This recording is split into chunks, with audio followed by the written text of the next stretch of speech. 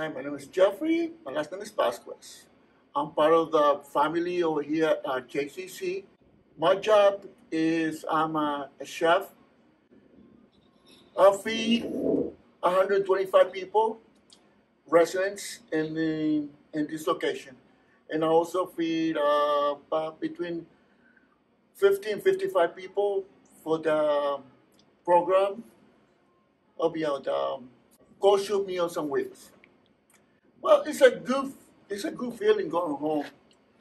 Um, I think my uh, the passion or what I I produce the my my motivation to work in a place like JCC or a place with, with seniors is that um, you know I feel like we all we all need or we all deserve a good meal.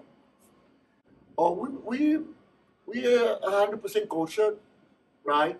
And uh, we try stick we try to stick to like old fashioned kosher food.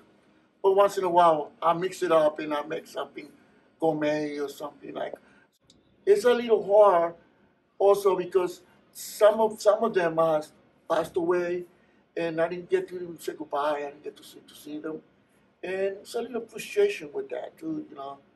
Uh, they come and say, oh, she's not coming anymore, in the dining room, oh, we lost this one.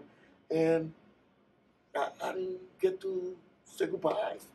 And, and, and the only thing that, that, that keep you going is, is thinking memories and, you know, last time I saw her, she was fine, or she was happy, or I made her happy, whatever, you know. And that's what it is. And, and it's life. Or If I could do what I do and I could make them happy for the last five, six years, it, it- it's a big satisfaction. It's a big, it makes me feel good.